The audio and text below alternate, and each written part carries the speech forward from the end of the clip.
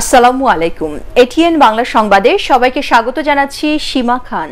শুরুতেই BRB cables সংবাদ শিরোনাম। জেকেজি হেলথ কেয়ারের মামলায় অধ্যাপক আবুল কালাম আজাদ ও নাসিমা সুলতানাকে স্বাস্থ্য অধিদপ্তরে জিজ্ঞাসাবাদ।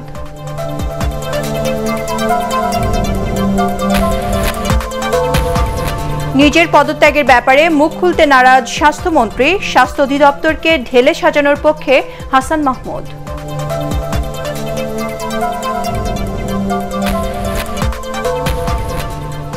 জেকেজির করোনা পরীক্ষার নামে ভুয়া সার্টিফিকেট দেওয়ার মামলার তদন্ত শেষ পর্যায়ে দ্রুত চার্জশিট দেবে ডিবি।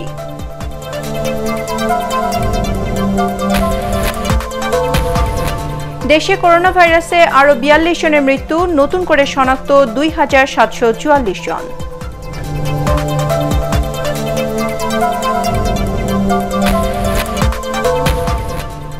এবং কক্সবাজারের চকরিয়ায় লেগুনার সাথে কাভার্ড ভ্যানের সংঘর্ষে নিহত সাতজন।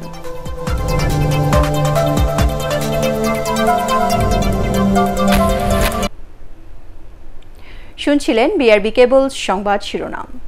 এবারে বিস্তারিত সংবাদ। জেকেজি হেলথ কেয়ারের মামলায় সদ্য পদত্যাগ করা স্বাস্থ্য অধিদপ্তরের মহাপরিচালক অধ্যাপক আবুল কালাম আজাদকে জিজ্ঞাসাবাদ করেছে গোয়েন্দা পুলিশ ডিবি। এছাড়াও অধিদপ্তরের অতিরিক্ত মহাপরিচালক প্রশাসন অধ্যাপক নাসিমা সুলতানাকেও জিজ্ঞাসাবাদ করা হয়। জেকেজি হেলথ কেয়ারের অনুমোদন দেওয়ার বিষয়ে তাদের জিজ্ঞাসাবাদ করেন গোয়েন্দারা। পাশাপাশি অনুমোদন সংক্রান্ত প্রয়োজনীয় কাগজপত্র দেখতে চান তারা। ডিবির একটি টিম স্বাস্থ্য অধিদপ্তরে গিয়ে এক ঘন্টারও বেশি সময় ধরে তাদের জিজ্ঞাসাবাদ করেন। স্বাস্থ্য খাতের দুর্নীতি ও ব্যর্থতা দায় নিয়ে তার পদত্যাগের বিষয়ে মুখ খুলতে নারাজ স্বাস্থ্যমন্ত্রী জাহিদ মালেক স্বপন। বরং করোনা ভাইরাস মোকাবেলায় স্বাস্থ্য মন্ত্রণালয় সফল বলেও দাবি করেন তিনি। তিনি বলেন, স্বাস্থ্য অধিদপ্তরের মহাপরিচালক কে হবেন সে ব্যাপারে প্রধানমন্ত্রী শেখ হাসিনার সাথে কথা বলে সিদ্ধান্ত নেওয়া হবে। সচিবালয়ে সাংবাদিকদের এসব কথা বলেন স্বাস্থ্যমন্ত্রী। আরও জানাচ্ছেন নিয়াজ জামান সচিব। করোনা ভাইরাস মহামারীতে দেশের স্বাস্থ্য খাতের অব্যবস্থাপনা বেশি নজরে আসে। বের হয়ে আসে করোনা পরীক্ষা নিয়ে রিজেন্ট হাসপাতাল জেকেজির মতো অনেক প্রতিষ্ঠানের প্রতারণার বিষয়টি। পিপি, মাস্ক কেনায় দুর্নীতিসহ নানা অসঙ্গতি সবার সামনে আসার পরে মঙ্গলবার পদত্যাগ করেন স্বাস্থ্য অধিদপ্তরের মহাপরিচালক আবুল কালাম আজাদ। তবে এসব ব্যর্থতার কোনো দায় নিজে নিতে রাজি নন স্বাস্থ্যমন্ত্রী। স্বাস্থ্য অধিদপ্তরের মহাপরিচালকের পর তিনি পদত্যাগ করবেন কিনা এমন প্রশ্নের উত্তর না দিয়ে করোনা মোকাবেলায় স্বাস্থ্য মন্ত্রণালয় সফল বলে দাবি করেন স্বাস্থ্যমন্ত্রী। দেখব যেখানে যেখানে প্রয়োজন পরিবর্তনের সেই বিষয়গুলো আমরা অবশ্যই দেখব। আমরা চাই যে এখানে সুষ্ঠু পরিচালনা হোক, মানুষ সেবা পাক। আমরা কিন্তু মানুষের সেবা নিয়ে কাজ করে গেছি গত পাঁচ মাস। মাঠে কিন্তু স্বাস্থ্য মন্ত্রণালয় ছিল। আমরা মনে করি স্বাস্থ্য মন্ত্রণালয় ভালো নাম্বার পেয়েছে। নাম্বারটা কি? যে আমাদের মৃত্যুর হার দেড় পার্সেন্ট এইটা হলো সবচেয়ে বড় নাম্বার। যেটা আমেরিকাতেও ছয় পার্সেন্ট ইউরোপে দশ পার্সেন্ট পৃথিবীটা হলো ছয় পার্সেন্ট এবং এই এটাই সবচেয়ে মানদণ্ড সবচেয়ে বড়। আমরা কাজ ভালো করতে পেরেছি কিনা। এ সময় তিনি জানান, সরকার বিভিন্ন দেশের করোনা ভ্যাকসিনের কার্যকারিতার উপরও চোখ রাখছে। এমআরসি অনুমোদন টেকনিক্যাল সাইডে তারা কথা বলছে। অনুমোদন তো দেবে সরকারি পর্যায়ে। এটা তো একটা পলিসি ডিসিশন যে আমরা কখন নিব এবং কাদেরটা নিব এটা তো একটা সরকারি সিদ্ধান্ত। আমাদেরকে সেই সিদ্ধান্তের জন্য অপেক্ষা করতে স্বাস্থ্যমন্ত্রী জানান সরকার নতুন করে একটি শক্তিশালী টাস্কফোর্স গঠন করছে। এই টাস্কফোর্সের মাধ্যমে দেশের হাসপাতাল ক্লিনিক সহ অন্যান্য চিকিৎসা সংক্রান্ত প্রতিষ্ঠানে কোনো অনিয়ম হয় কিনা তা খতিয়ে দেখা হবে। নিয়াজ জামান সজীব এটিএন বাংলা ঢাকা। স্বাস্থ্য অধিদপ্তরের মহাপরিচালক অধ্যাপক আবুল কালাম আজাদের পদত্যাগের পর অধিদপ্তরকে নতুন করে ঢেলে সাজানোর কথা বলেছেন তথ্যমন্ত্রী ডক্টর হাসান মাহমুদ। সচিবালয়ে সাংবাদিকদের সাথে মতবিনিময়ের সময় তিনি বলেন, বিএনপি বন্যার্থদের পাশে না দাঁড়িয়ে অবান্তর কথা বলছে। চলতি মাসে কিছু অনলাইনকে অনুমোদন দেওয়া হবে বলেও জানান তথ্যমন্ত্রী। বিস্তারিত শফিউল আলম সুজনের রিপোর্টে। বিতর্কের মুখে স্বাস্থ্য অধিদপ্তরের মহাপরিচালকের পদত্যাগের পর এ নিয়ে সচিবালয়ে কথা বলেন তথ্যমন্ত্রী। আমি স্বাস্থ্য অধিদপ্তরের মহাপরিচালককে ধন্যবাদ জানাই, তিনি পদত্যাগ করেছেন জন্য। কারণ স্বাস্থ্য অধিদপ্তর নিয়ে জনমনে অনেক অসন্তোষ তৈরি হয়েছিল, বিশেষ করে স্বাস্থ্য অধিদপ্তরের কর্তা ব্যক্তিদের নিয়ে। এবং সেই প্রেক্ষাপটে তার পদত্যাগটি আমি মনে করি স্বাস্থ্য অধিদপ্তরকে ঢেলে সাজানোর ক্ষেত্রে ইতিবাচক ভূমিকা পালন তথ্যমন্ত্রী বন্যা নিয়ে বিএনপি নেতাদের বিরূপ মন্তব্য না করে বন্যার্থদের পাশে দাঁড়ানোর আহ্বান জানান। Pandemic এদিকে অনলাইনে American chamber of commerce AmCham আয়োজিত সাংবাদিক পদক ঘোষণা অনুষ্ঠানে তথ্যমন্ত্রী বলেন করোনা ভাইরাসের মতো আরও ভয়ানক ভাইরাস মোকাবেলায় স্বাস্থ্য খাতের প্রয়োজন আরও বেশি গবেষণা। এই ভাইরাস মোকাবেলা করার জন্য কোনো দেশেরই পূর্ব প্রস্তুতি ছিল না। আমাদের টিকে থাকতে হলে আমাদের স্বাস্থ্যের উপর গবেষণা বাড়াতে হবে এবং সম্মিলিতভাবে এই ধরনের ভাইরাস থেকে মুক্তি লাভ করার জন্য, পৃথিবীর মানুষকে মুক্ত রাখার জন্য ভবিষ্যতে প্রস্তুতি গ্রহণ করতে হবে। ভবিষ্যতে যে কোনো ভাইরাস মোকাবেলায় সবাইকে একসাথে কাজ করার আহ্বানও জানান তথ্যমন্ত্রী Shafil Sujan, ATN Bangla, Dhaka. JKG health কেয়ারে করোনা পরীক্ষার নামে ভুয়া সার্টিফিকেট দেওয়ার মামলার তদন্ত শেষ পর্যায়ে। দ্রুত চার্জশিট দেওয়া হবে বলে জানিয়েছেন ডিবির অতিরিক্ত কমিশনার আব্দুল বাতেন। তিনি আরও জানান, ডাক্তার সাবরিনা আরিফ চৌধুরী ওই প্রতিষ্ঠানের চেয়ারম্যান, এমন কোনো তথ্য প্রমাণ এখন পর্যন্ত পাওয়া যায়নি। তবে তিনি প্রতিষ্ঠানটির আহ্বায়ক হিসেবে দায়িত্ব পালন করছিলেন, তদন্তে বিষয়টি বেরিয়ে এসেছে। অন্যদিকে রিজন গ্রুপের চেয়ারম্যান মোহাম্মদ শাহিদের বিরুদ্ধে অস্ত্র আইনে দায়ের করা মামলার চার্জশিট দ্রুততম সময়ের মধ্যে দাখিল করা হবে বলে জানিয়েছেন ডিবির অতিরিক্ত কমিশনার। অস্ত্র মামলা গতকালকে দুইজন সাক্ষী একশো চৌষট্টি ধারায় আদালতে জবানবন্দি দিয়েছে। খুব সহসাই আমরা এই মামলার চার্জশিট দাখিল করব। আমরা সাবরিনার মামলাও প্রায় তদন্ত অনেক দূরে গিয়েছি এবং এই মামলাটা আমরা আশা করছি যে খুব দ্রুত সময়ের মধ্যে আমরা চার্জশিট দাখিল করতে পারব। দেশে করোনা ভাইরাসে আরও বিয়াল্লিশ জনের মৃত্যু হয়েছে। এ নিয়ে মোট মৃতের সংখ্যা দুই হাজার সাতশো একান্ন জন। গত চব্বিশ ঘন্টায় বারো হাজার পঞ্চাশটি নমুনা পরীক্ষায় দুই হাজার সাতশো চুয়াল্লিশ জন করোনা পজিটিভ শনাক্ত হয়েছেন। স্বাস্থ্য অধিদপ্তরের অনলাইন বুলেটিনে এসব তথ্য জানানো হয়। হুমায়ুন চিস্তি রিপোর্ট। দেশে আরও দুই হাজার সাতশো চুয়াল্লিশ জনের দেহে করোনা শনাক্ত হয়েছে। প্রাণঘাতী এ ভাইরাসে এ পর্যন্ত আক্রান্ত হয়েছেন দুই লাখ তেরো হাজারের বেশি মানুষ। গত এক সপ্তাহের তথ্য বিশ্লেষণে দেখা যায় নমুনা পরীক্ষার সংখ্যা কমে যাওয়ায় কমেছে আক্রান্তের সংখ্যাও। তবে সংক্রমণের হার এখনও ঊর্ধ্বমুখী। গত চব্বিশ ঘন্টায় আক্রান্তের হার বাইশ দশমিক সাত সাত। গত পনেরো জুলাই এ হার পঁচিশ ছাড়িয়ে যায়। চব্বিশ ঘন্টায় নমুনা পরীক্ষা হয়েছে বারো হাজার পঞ্চাশ। তাতে শনাক্ত হয়েছে দুই হাজার সাতশো চুয়াল্লিশ জন। শনাক্ত দুই লক্ষ তেরো হাজার দুইশো চুয়ান্ন জন। দেশে করোনা সংক্রমিত হয়ে আরও বিয়াল্লিশ জনের মৃত্যু হয়েছে। শনাক্ত বিবেচনায় মৃত্যুহার এক দশমিক দুই নয় শতাংশ। এর মধ্যে পুরুষ তিরিশ জন ও নারী বারো জন। পঞ্চাশ বছরের বেশি বয়সী মানুষদের মধ্যেই মৃত্যুহার সবচেয়ে বেশি। চব্বিশ ঘন্টায় মৃত্যুবরণ করেছেন বিয়াল্লিশ জন এবং সাতশো একান্ন জন। নতুন আঠারোশো পাঁচ জন সহ এ পর্যন্ত এক লাখ সতেরো হাজার করোনা রোগী সুস্থ হয়েছেন। সুস্থতার হার প্রায় পঞ্চান্ন ভাগ। হুমায়ুন চিস্তি এটিএন বাংলা ঢাকা। করোনা ও উপসর্গ নিয়ে গত চব্বিশ ঘন্টায় দেশে বিভিন্ন জেলায় অন্তত সতেরো জনের মৃত্যুর খবর পাওয়া গেছে। তাদের মধ্যে উপসর্গ নিয়ে মারা গেছে সাতজন। মুক্তিযোদ্ধা, চিকিৎসক দম্পতি, পুলিশ, ব্যাংকার, স্বাস্থ্যকর্মী সহ সারা দেশে করোনা শনাক্ত হয়েছেন কয়েকশো মানুষ। প্রতিনিধিদের তথ্যচিত্রের ভিত্তিতে রিপোর্ট করছেন সৈয়দ রিয়াজ। বরিশাল শেরেবাংলা মেডিকেল কলেজ হাসপাতালে করোনায় দুজন ও উপসর্গ নিয়ে একজন মারা গেছেন। এছাড়া বরিশাল বিভাগের ছয় জেলায় ডাক্তার, ব্যাংকার ও পুলিশ সহ নতুন আক্রান্ত হয়েছেন উনআশি জন। বগুড়ায় করোনায় মারা গেছেন দুজন এবং নতুন করে আক্রান্ত হয়েছেন চুরাশি জন। সিলেটে করোনায় মারা গেছেন তিনজন, মৃত তিনজনই পুরুষ। নতুন শনাক্ত আটাত্তর জন। কুমিল্লা মেডিকেল কলেজ হাসপাতালে করোনা উপসর্গ নিয়ে তিনজনের মৃত্যু হয়েছে। এদের মধ্যে একজন মহিলা। চব্বিশ ঘন্টায় নতুন শনাক্ত হয়েছেন সাতচল্লিশ জন। খুলনায় ডেডিকেটেড হাসপাতালে করোনায় এক ও মেডিকেল কলেজ হাসপাতালে উপসর্গ নিয়ে একজন সহ মোট দুইজনের মৃত্যু হয়েছে। এখানে তেষট্টি জন সহ বিভাগের দশ জেলায় নতুন শনাক্ত দুশো একাত্তর জন। ব্রাহ্মণবাড়িয়ায় করোনায় আক্রান্ত হয়ে আশি বছর বয়সে মারা গেছেন মুক্তিযোদ্ধা আবু বক্কর খান। জেলায় নতুন শনাক্ত একজন। গাইবান্ধায় করোনায় দুইজনের মৃত্যু হয়েছে। জেলায় আক্রান্ত হয়েছেন পঁচিশ জন। নারায়ণগঞ্জে করোনায় মৃত্যু হয়েছে একজনের। একশো উনষাটটি নমুনা পরীক্ষা করে জেলায় নতুন শনাক্ত হয়েছেন সাতজন। উপসর্গ নিয়ে চুয়াডাঙ্গা সদর হাসপাতালে একজনের মৃত্যু হয়েছে। সংক্রমণ বেড়ে যাওয়ায় পৌরসভার চার, সাত ও নয় নম্বর ওয়ার্ডকে রেড জোন ঘোষণা করে বুধবার সকাল থেকে লকডাউন কার্যকর করা হয়েছে। এছাড়া রংপুরে পুলিশ, ডাক্তার, স্বাস্থ্যকর্মী ও ব্যাংকার সহ একাত্তর জন। নোয়াখালীতে ছেচল্লিশ জন, জামালপুরে এক চিকিৎসক দম্পতি সহ বারো জন, যশোরে বত্রিশ জন এবং ময়মনসিংহে ছাব্বিশ জন নতুন শনাক্ত হয়েছেন। সৈয়দ রিয়াজ, এটিএন বাংলা। মানব ও মুদ্রা পাচারের অভিযোগে লক্ষ্মীপুর দুই আসনের সংসদ সদস্য শহীদ ইসলাম পাপুলের স্ত্রী সেলিনা ইসলাম এবং শ্যালিকা জেসমিন প্রধানকে জিজ্ঞাসাবাদ করেছে দুদক। দুদকের উপপরিচালক মোহাম্মদ সালাউদ্দিন তাদের জিজ্ঞাসাবাদ করেন। এদিকে সংসদ সদস্য পাপুল ষড়যন্ত্রের শিকার বলে দাবি করেছেন তার স্ত্রী ও সংরক্ষিত মহিলা আসনের সাংসদ সেলিনা ইসলাম। বিস্তারিত জানাচ্ছেন শফিকুল ইসলাম শামীম।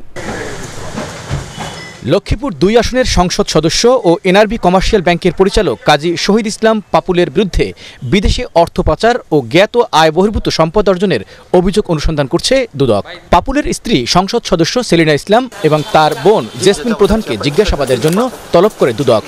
জিজ্ঞাসাবাদ শেষে পাপুলের স্ত্রী জানান, একটি চক্রের ষড়যন্ত্রের শিকার তার পরিবার। মূলত দেশের ভাবমূর্তি নষ্ট করতেই এ ধরনের অভিযোগ আনা হয়েছে। এই দেশকে দেওয়ার জন্য আসছি। আমরা নেওয়ার জন্য আসিনি। এটাই আমাদের স্লোগান। আর আমরা এখানের মধ্যে আপনারা যেটা জানতেছেন, এগুলো আসলেই ষড়যন্ত্রমূলকভাবে হচ্ছে বিষয়গুলো। এটা আমাদের সরকারকে বদনাম করার চেষ্টা হচ্ছে? যেটাই হোক, এটা এখন তদন্তের মাধ্যমে, আইনের মাধ্যমে, যেটা যদি আমাদের কোনো কিছু থাকে, অবশ্যই ওনারা জানবেন, আপনারা জানবেন, দেখবেন। আইনকে শ্রদ্ধা রেখে আমরা কাজ করতেছি। প্রায় দুই ঘণ্টা জিজ্ঞাসাবাদ করা হয় সেলিনা ইসলাম ও তার বোনকে। দুদক সচিব দিরোয়ার বক্ত জানান, অভিযোগ প্রমাণিত হলে জড়িতরা বিদেশে থাকলেও দেশে ফিরিয়ে এনে বিচারের আওতায় আনা হবে। বিদেশে অবস্থান করলে তাদেরকে দেশে ফিরিয়ে আনা সহ অন্যান্য ব্যবস্থা গ্রহণ করা বারো জুলাই সংসদ সদস্য সেলিনা ইসলাম ও তার বোন জেসমিন প্রধানকে দুদকে হাজির হতে তলবি নোটিশ পাঠিয়েছিলেন অভিযোগ অনুসন্ধানকারী কর্মকর্তা মোহাম্মদ সালাউদ্দিন। শফিকুল ইসলাম শামীম, এটিএন বাংলা, ঢাকা। রাজধানীর জলাবদ্ধতা নিরসনে ওয়াসা ও পানি উন্নয়ন বোর্ড সহ দায়িত্বপ্রাপ্তরা ব্যর্থ হয়েছেন বলে মন্তব্য করলেন ঢাকা দক্ষিণ সিটি কর্পোরেশনের মেয়র ব্যারিস্টার শেখ ফজলে নূর তাপস। নতুন পরিকল্পনা প্রণয়ন করে এই সমস্যার সমাধানে আগ্রহী তিনি। এদিকে স্থানীয় সরকার মন্ত্রী তাজুল ইসলাম বলেছেন নগরীর জলাবদ্ধতা নিরসনে স্থানীয় সমাধানের জন্য একটি টেকনিক্যাল কমিটি গঠন করা হয়েছে। রাজধানীর বিভিন্ন স্থানে জলাবদ্ধতা পরিদর্শন শেষে তারা এসব কথা বলেন। মমিনুর রিপনের রিপোর্ট। ভারী বৃষ্টি হলে রাজধানীর বেশিরভাগ স্থানে সৃষ্টি হয় জলাবদ্ধতা। জমে থাকা পানি সরে যাওয়া পর্যন্ত দীর্ঘ সময় ভোগান্তির মধ্যে পড়তে হয় নগরবাসীকে। রাজধানীর জলবদ্ধতা নিরসনে সংশ্লিষ্ট অধিদপ্তর, বোর্ড, কর্পোরেশনের ঊর্ধ্বতন কর্মকর্তাদের সাথে সচিবালয়ে সভা করেন স্থানীয় সরকারমন্ত্রী তাজুল ইসলাম। জলবদ্ধতা নিয়ে ওয়াসা ও পানি উন্নয়ন বোর্ড সহ দায়িত্বপ্রাপ্তদের সাথে দুই সিটি কর্পোরেশনের বক্তব্যের ভিন্নতা থাকায় সরেজমিনে ঢাকার জলবদ্ধতার স্থানগুলো পরিদর্শন করেন তিনি। কিছু কিছু এন্টিটি তো পরিদর্শন করতে পারে, সে পরিদর্শন করা হয়েছে, তথ্য আমরা পেয়েছি তো সেটা নিয়ে আমরা পরবর্তীতে কাজ করব। আমরা মনে করি ওনারা সক্ষমতার সহিত দায়িত্বটা পালন করতে পারেন এবং নিতে চান, তাইলে অবশ্যই আমরা এ ব্যাপারে তাদের সাথে একসাথে হয়ে কাজ করার জন্য আমরা পদক্ষেপ নেব। এ সময় ঢাকা দক্ষিণ সিটি কর্পোরেশনের মেয়র ব্যারিস্টার শেখ ফজলে নূর তাপস অভিযোগ করেন সারা বছর কোটি কোটি টাকা খরচ করেও জলবদ্ধতা নিরসনে ব্যর্থ হয়েছে ওয়াসা ও পানি উন্নয়ন বোর্ডের কর্মকর্তারা। এই দায়িত্বটা দীর্ঘদিন ধরে ঢাকা ওয়াসাকে দেয়া ছিল কিন্তু আপনারা লক্ষ্য করেছেন যে ঢাকা ওয়াসা সম্পূর্ণরূপে ব্যর্থ হয়েছে। যেখানে ওয়াসা বলেছে খাল পরিষ্কার করেছে আপনারা দেখেছেন সেখানে খাল পুরো বদ্ধ আবর্জনা দিয়ে বদ্ধ। যেখানে পানি উন্নয়ন বোর্ড বলেছে যে তাদের পাম্প স্টেশন দিয়ে তারা পানি নিষ্কাশনের ব্যবস্থা নিয়েছে। সেখানে আমরা গিয়ে দেখেছি যে সেখানে আসলে কোনো পাম্পও নেই একটি নিতান্তই একটি আউটলেট রাখা হয়েছে এবং সেখানে কোনো পানি নিষ্কাশনের কোনো ব্যবস্থা নেই। ঢাকার দুই সিটি কর্পোরেশনকে সুযোগ করে দিলে জলবদ্ধতা নিরসনে সঠিক পরিকল্পনা গ্রহণ ও বাস্তবায়ন করা সম্ভব বলেও মন্তব্য করেন শেখ তাপস। সরেজমিন পরিদর্শন করে এটা ওয়াকিবহাল হলাম যে কীভাবে কি সমস্যাগুলো আসলে কোথায় কোন পর্যায়ে। এবং আমি আশাবাদী যে মাননীয় মন্ত্রীর নেতৃত্বে আমরা সুদূর প্রসারী পরিকল্পনা নিয়ে এই সমস্যাগুলো আমরা সমাধান করতে পারব। তবে দায়িত্ব যাদেরই হাতে থাকুক, জলবদ্ধতা নিরসনে সবাইকে এগিয়ে আসার আহ্বান জানিয়েছেন স্থানীয় সরকার মন্ত্রী ও ঢাকা দক্ষিণের mayor. Mominur Ripon, ATN Bangla, Dhaka. Corona virus মোকাবেলায় সরকারের নেওয়া পদক্ষেপ সম্পর্কে জানতে প্রধানমন্ত্রী শেখ হাসিনাকে ফোন করেছিলেন পাকিস্তানের প্রধানমন্ত্রী ইমরান খান। প্রধানমন্ত্রী প্রেস সচিব ইরসানুল করিম গণমাধ্যমকে জানান, সকালে প্রায় পনেরো মিনিটের এই ফোন আলাপের শুরুতেই কুশল বিনিময় করেন তারা। পরে পাক প্রধানমন্ত্রীকে করোনা মোকাবেলায় তাঁর সরকারের নেওয়া বিভিন্ন পদক্ষেপের কথা জানান প্রধানমন্ত্রী শেখ হাসিনা। ইমরান খান দেশের বন্যা পরিস্থিতি নিয়ে জানতে চাইলে সে বিষয়েও তাকে অবহিত করেন প্রধানমন্ত্রী। উন্নত আধুনিক পদ্ধতির মাধ্যমে দেশীয় প্রজাতির মাছকে বিলুপ্তির হাত থেকে রক্ষা করার আহ্বান জানিয়েছেন প্রধানমন্ত্রী শেখ হাসিনা। তিনি বলেন, মাছের উৎপাদন বৃদ্ধি করে শুধু জনগণের পুষ্টি চাহিদা পূরণ নয়, মাছ রপ্তানি করে বৈদেশিক মুদ্রা অর্জন সরকারের অন্যতম লক্ষ্য। গণভবন লেকে পোনা মাছ অবমুক্ত করার মাধ্যমে জাতীয় মৎস্য সপ্তাহ দু হাজার উদ্বোধন করেন প্রধানমন্ত্রী। এ সময় তিনি বলেন, মৎস্য সম্পদ রক্ষায় কার্যকর ও ফলপ্রসূ পদক্ষেপ গ্রহণ করায় দেশ এখন মাছ উৎপাদনে স্বয়ংসম্পূর্ণ। মৎস্য প্রাণী সম্পদ মন্ত্রী সমর রেজাউল করিম এ সময় উপস্থিত ছিলেন।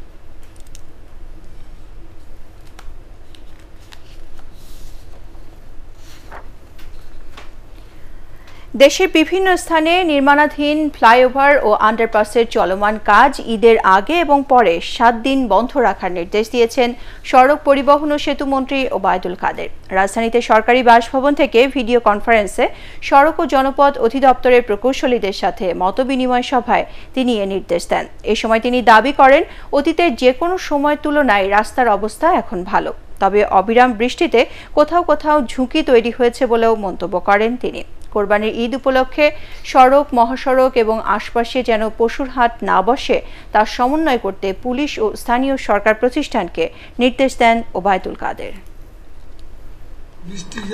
ঈদে আগের সাত দিন ও পরের সাত দিন ফ্লাইওভার, আন্ডারপাস ও চলমান কাজগুলো বন্ধ রাখতে হবে জনস্বার্থে। এমনকি আমাদের যে বিআরটিএ বাস র্যাপিড ট্রানজিটের যে কাজ চলছে, সেখানেও কাজের জন্য রাস্তায় ভোগান্তি হলে আপাতত এ কয়দিন কাজ বন্ধ রাখতে হবে। করোনা মহামারীতে একদিকে বেঁচে থাকা, অন্যদিকে জীবিকার সংগ্রামে মানুষ এখন কঠিন সময় পার করছে বলে মন্তব্য করেছেন বিএনপি মহাসচিব মির্জা ফখরুল ইসলাম আলমগীর। মুক্তিযুদ্ধের অন্যতম সংগঠক শাহজাহান সিরাজ স্মরণে বিএনআরসি আয়োজিত ভার্চুয়াল আলোচনায় তিনি এ মন্তব্য করেন। তার ভাষায়, দেশ এখন এক ভয়াবহ সংকটে। জাতীয় ঐক্য গড়ে তুলতে সবাইকে এক প্ল্যাটফর্মে আসার আহ্বান জানান তিনি। জেএসটি সভাপতি আসম আব্দুর রব, মুক্তিযুদ্ধের অন্যতম সংগঠক নূরে আলম সিদ্দিকী, বাসদের সাধারণ সম্পাদক কমরেড খালেকুজ্জামান, নাগরিক ঐক্যের আহ্বায়ক মাহমুদুর রহমান মান্না এতে অংশ নেন। ব্যক্তি এবং দলীয় স্বার্থে মুক্তিযুদ্ধের প্রকৃত ইতিহাসকে বিকৃত না করতে সবার প্রতি আহ্বান জানান বক্তারা। স্বাধীনতা চেতনাকে ধারণ করি, তাই আজকে অত্যন্ত সচেতন ভাবে এই দেশের মানুষের যে অধিকার তার যে ভোট দেওয়ার অধিকার, তার যে মৌলিক অধিকার সেগুলোকে হরণ করে নিয়ে গেছে। দুর্ভাগ্য আজকে যারা এখানে আছেন, তাদের সকলের, আমি বলব, তাদের সকলেরই দুর্ভাগ্য যে তারা এই বাংলাদেশ দেখতে চাননি। সেই বাংলাদেশকে যদি আমরা সবাই নির্মাণ করতে চাই, আজকে আবার সে উনিশশো একাত্তর সালের মতো আমাদের একটা জাতীয় ঐক্য সৃষ্টি করতে হবে। প্রতারণার মাধ্যমে কয়েক কোটি টাকা হাতিয়ে নেয়ার অভিযোগে বারো বিদেশি নাগরিক সহ তেরো জনকে গ্রেপ্তার করেছে সিআইটি তাদের কাছ থেকে উদ্ধার করা হয়েছে প্রতারণার কাজে ব্যবহৃত বিভিন্ন উপকরণ। রিপোর্ট করছেন মাহমুদুর রহমান। বৈধ কোনো কাগজপত্র না থাকার পরও বিদেশি সব নাগরিকরা মানুষকে প্রতারণা করে কোটি কোটি টাকা হাতিয়ে নিয়েছে। আর তাদের এ কাজে সহায়তা করছে দেশের ভিতরের একটি চক্র। সিআইডি রাজধানী সহ দেশের বিভিন্ন জায়গায় অভিযান চালিয়ে এই চক্রের তেরো সদস্যকে গ্রেপ্তার করে। এর মধ্যে বারো জন বিদেশি এবং একজন দেশি। সংবাদ ব্রিফিংয়ে সিআইডি জানায়, এই চক্রটি প্রথমে ফেসবুকে টার্গেট ব্যক্তিকে ফ্রেন্ড রিকোয়েস্ট পাঠায়। গ্রহণ করার পর বন্ধুত্ব এবং অল্প সময়ের মধ্যে বিদেশ থেকে দামি উপহার সামগ্রী পাঠানো। সব কিছুতেই নেওয়া হয় প্রতারণার আশ্রয়। এক ভুক্তভোগীর অভিযোগের ভিত্তিতে তাদের গ্রেপ্তার করা হয়।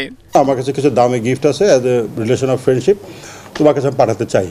তো ইউজুয়ালি আমাদের যারা সহজপ্রাণ বাংলাদেশি যারা ভিকটিম বন্ধুত্ব হিসেবে কেউ না করে না এবং তারা এই গিফটটাকে খুব সহজে অ্যাকসেপ্ট করে।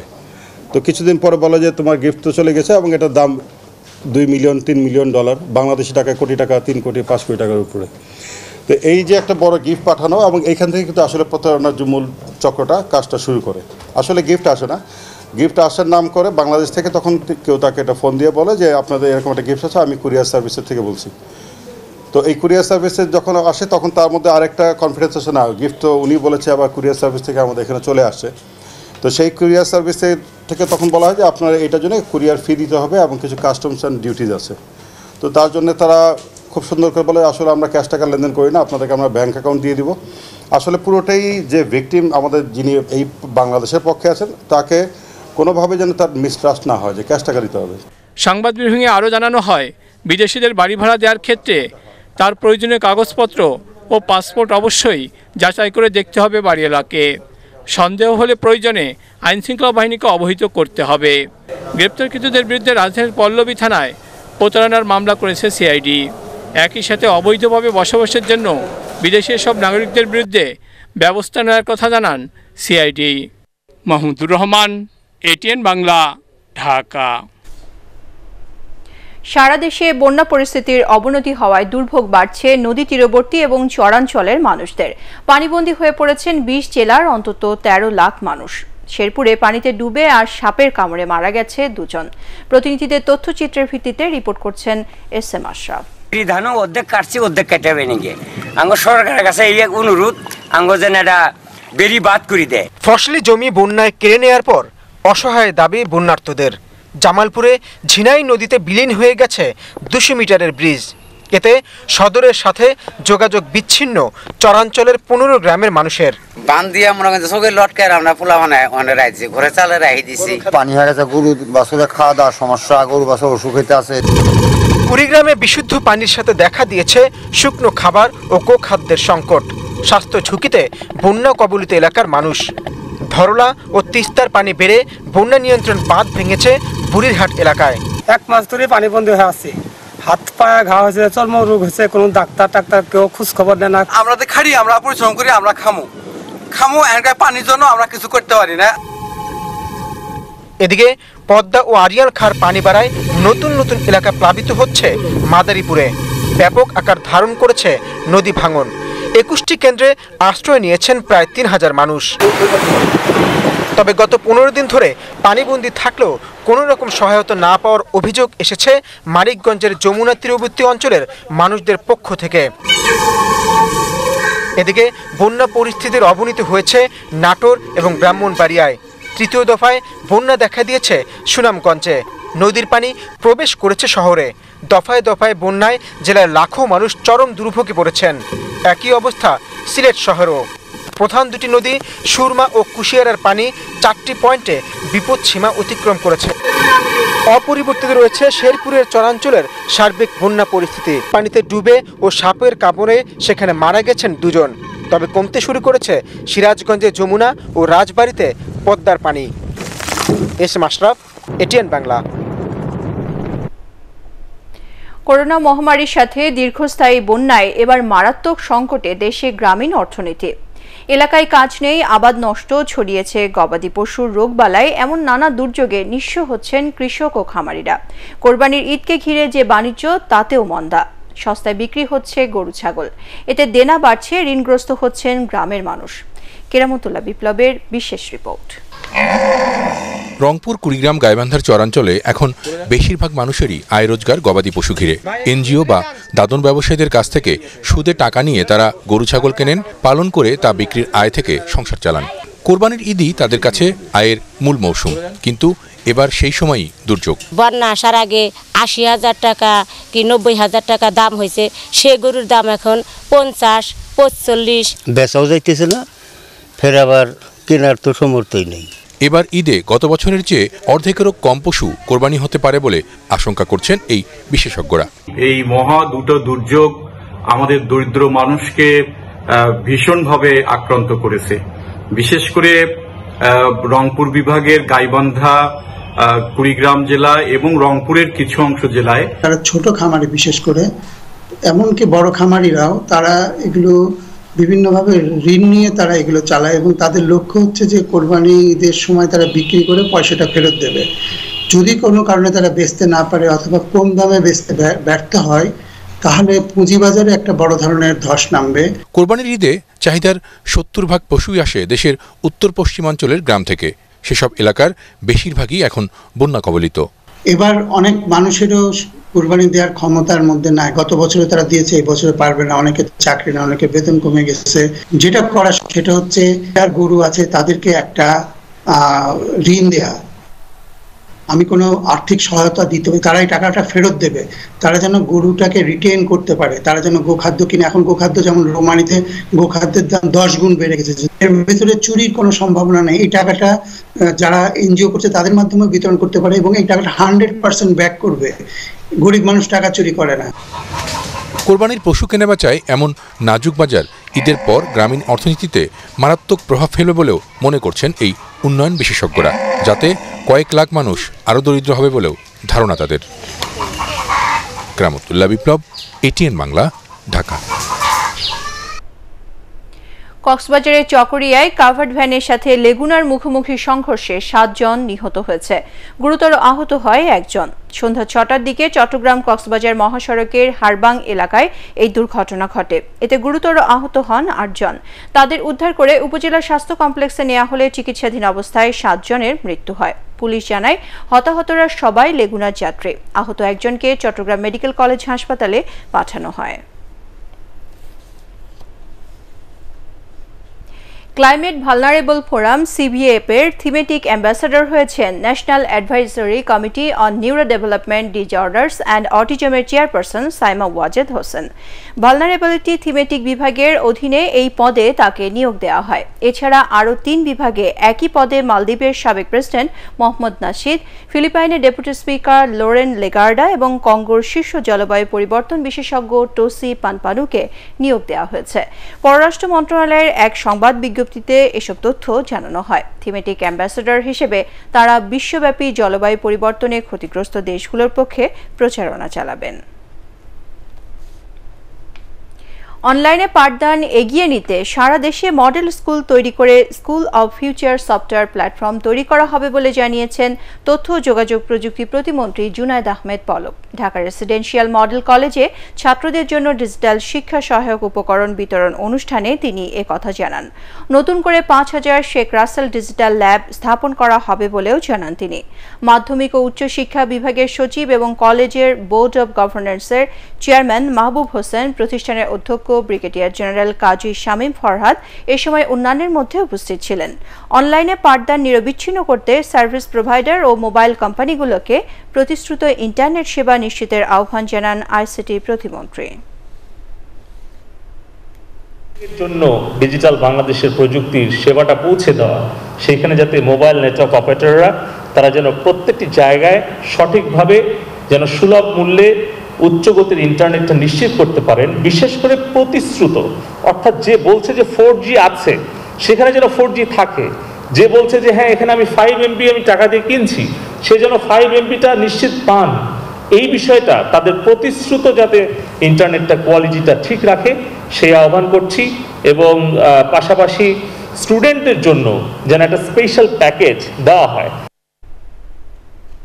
এবারে আলারফ ইসলামী ব্যাংক অর্থ সংবাদ।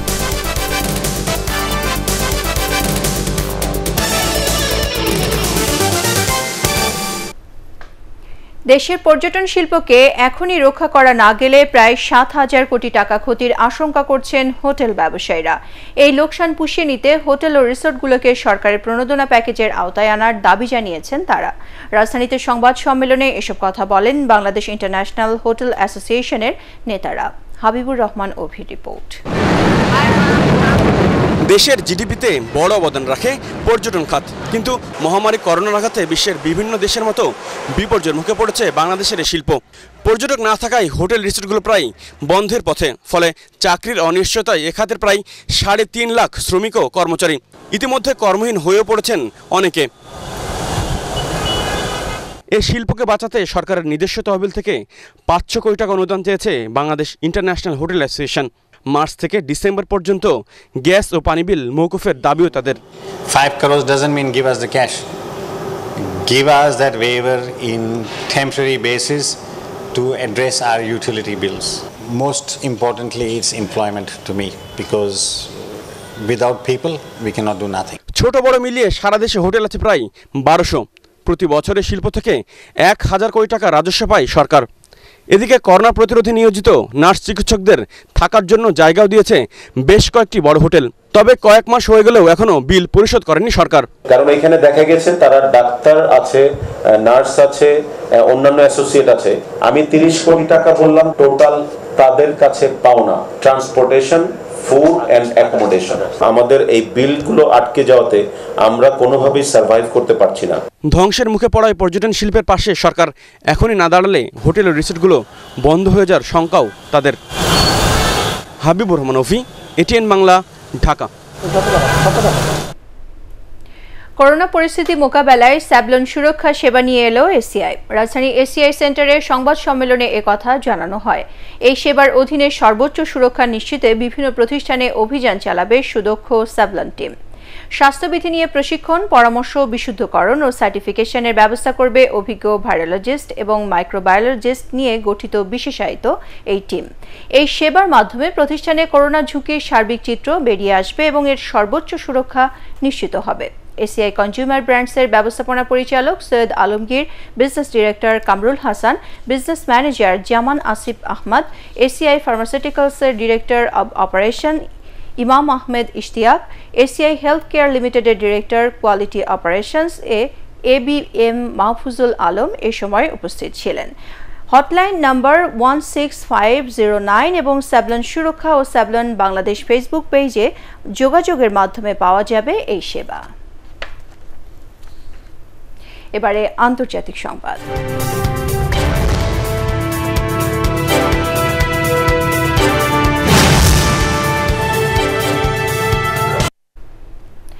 করোনা ভাইরাস মহামারী আরও ভয়াবহ হতে পারে বলে এবার সতর্ক করলেন মার্কিন প্রেসিডেন্ট ডোনাল্ড ট্রাম্প। হোয়াইট হাউসের ব্রিফিংয়ে তিনি সবাইকে দেশপ্রেমে উদ্বুদ্ধ হয়ে মাস্ক ব্যবহারের আহ্বান জানান।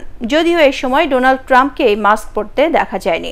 এর আগে ভাইরাস পরিস্থিতি মোকাবেলায় মাস্ক ব্যবহার সহ অন্যান্য ব্যবস্থা নিতে চরম অবহেলা প্রদর্শন করেছিলেন তিনি। এ অবস্থায় সারা দেশে সংক্রমণ বাড়তে থাকায় উপদেষ্টাদের চাপে মনোভাব পরিবর্তন করেছেন মার্কিন প্রেসিডেন্ট। জনস সপকিন্স ইউনিভার্সিটির হিসেবে যুক্তরাষ্ট্রে করোনা আক্রান্তের সংখ্যা ছাড়িয়েছে তিন লাখ নব্বই হাজার। এর মধ্যে মারা গেছে এক লাখ বিয়াল্লিশ হাজার মানুষ। সারা বিশ্বে আক্রান্তের সংখ্যা প্রায় দেড় কোটি। মৃতের সংখ্যা ছাড়িয়েছে ছয় লাখ সতেরো হাজার। এখন স্ট্যান্ডার্ড ব্যাংক বাণিজ্য সংবাদ।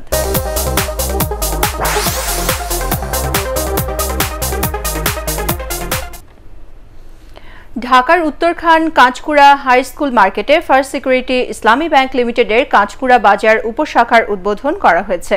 ব্যাংকের ব্যবস্থাপনা পরিচালক সৈয়দ ওয়াসেক মোহাম্মদ আলী প্রতিষ্ঠানের প্রধান কার্যালয় থেকে ভিডিও কনফারেন্সের মাধ্যমে এই উপশাখার উদ্বোধন করেন। ব্যাংকের অতিরিক্ত ব্যবস্থাপনা পরিচালক আব্দুল আজিজ, মোহাম্মদ মোস্তফা খায়ের, উপব্যবস্থাপনা পরিচালক মোহাম্মদ জহিরুল হক এ সময় উপস্থিত ছিলেন। উদ্বোধনী অনুষ্ঠান উপলক্ষে এক দোয়া মাহফিলের আয়োজন করা হয়। ওয়ালটনের ডিজিটাল ক্যাম্পেইন সিজন সেভেনে মিলনিয়ার হয়েছেন ঢাকার গৃহিণী সূচনা রহমান। পছন্দের ব্র্যান্ডের ফ্রেস কিনে মিলনিয়ার বনে যান তিনি। রাজধানী মিরপুর দশ নম্বর ওয়ালটন প্লাজায় তার হাতে দশ লাখ টাকার চেক তুলে দেন প্রতিষ্ঠানের নির্বাহী পরিচালক মোহাম্মদ হুমায়ুন কবির। অনলাইনে দ্রুত সর্বোত্তম বিক্রয়ত্ব সেবা দিতে সারা দেশে চলছে ওয়ালটনের ডিজিটাল ক্যাম্পেইন সিজন সেভেন।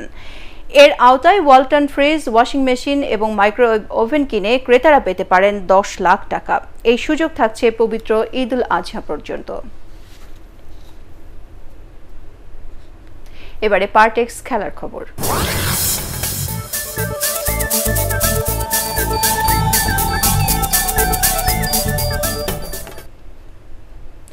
উন্নত চিকিৎসার জন্য আগামী শনিবার লন্ডন যাচ্ছেন বাংলাদেশের ওয়ানডে অধিনায়ক তামিম ইকবাল। গত তিন মাস ধরে পেটের ব্যথায় ভুগছেন তিনি। দেশের চিকিৎসা নিয়ে উপকার না পাওয়ায় তিনি এ সিদ্ধান্ত নিয়েছেন। সংবাদ মাধ্যমকে বিষয়টি নিশ্চিত করে তামিম জানান, তার প্যাথোলজিক্যাল টেস্টে কিছু ধরা পড়ছে না, সমস্যা কোথায়? তাই লন্ডনে এই এক চিকিৎসকের সঙ্গে নিয়মিত যোগাযোগ করছেন। তার পরামর্শে সেখানে যাচ্ছেন। বিসিবির অনুমতি নেওয়া হয়ে গেছে। এবার কোভিড নাইন্টিন টেস্টের নেগেটিভ ছাড়পত্রের জন্য অপেক্ষা করছেন তামিম। সংবাদ শেষ করার আগে বিআরবি কেবল শিরোনামগুলো আরও একবার। জেকেজি হেলথ কেয়ারের মামলায় অধ্যাপক আবুল কালাম আজাদ ও নাসিমা সুলতানাকে স্বাস্থ্য অধিদপ্তরে জিজ্ঞাসাবাদ।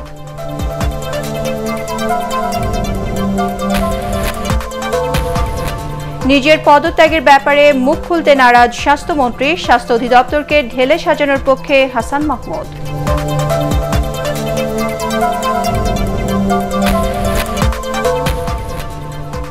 জেকেজির করোনা পরীক্ষার নামে ভুয়া সার্টিফিকেট দেওয়ার মামলার তদন্ত শেষ পর্যায়ে দ্রুত চার্জশিট দেবে ডিবি।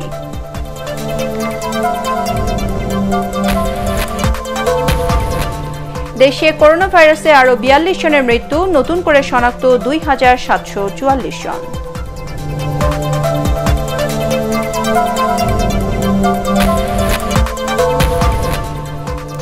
এবং কক্সবাজারের চকরিয়ায় লেগুনার সাথে কাভার্ড ভ্যানের সংঘর্ষে নিহত সাতজন।